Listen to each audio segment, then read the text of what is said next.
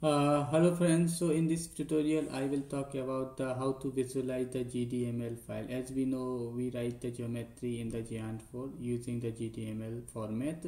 So in this tutorial i will talk about how to uh, visualize the geometry using the gdml file. So let's see. So i gone through this particular path in the examples geant4 examples then you can find this particular GDML file. It is uh, I don't know what is uh, the geometry inside it but I will uh, tell you how to visualize the geometry using the GDML format. So let's go. So I will use the root. So what you can do first root minus L then what you can do uh, you can write the manager has the facilities. You can put the tab then it will tell the what are the options available.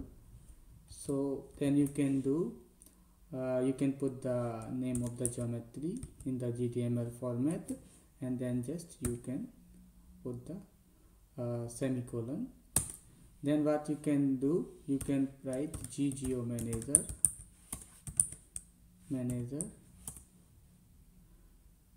and uh, get top volume. You can put the tab here you can put the tab then it will tell what are the options. And draw OGL OpenGL viewer. It is a root uh, OpenGL viewer. So then you can see I can now it's a, it has shown the geometry is inside the GDML file. So you can see this is the geometry inside the GDML file. And this way you can visualize the any GDML file uh, which you write in the Geant4 format. So you can also press W then it will show the wired version and then E R T.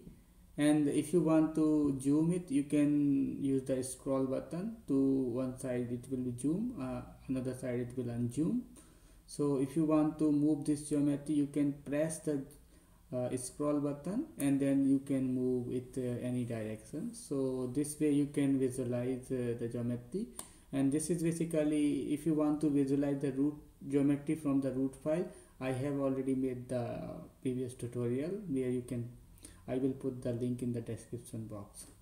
So this is uh, for the GDML let's visualize the next GDML which uh, I written let's say uh, let's go to desktop. The desktop. Uh, uh, example Siam. Then you have also have the I have the J, GDML file. So let's visualize it by using the root. So then you can again call tgeo manager and import. And you can write g4 test gdml so then you can again use the G geo manager get top volume draw OGL then. Now you can see this is the geometry. Okay.